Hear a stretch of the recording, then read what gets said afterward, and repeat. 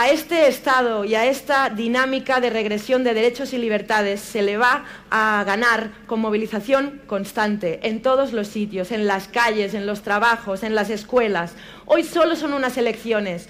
Hoy, mañana, mañana pasado y los siguientes días el combate contra el Estado continúa y tenemos que persistir, no podemos normalizar la represión. A las calles, al Estado y al fascismo se le combate organizadas a las calles y desobedeciendo.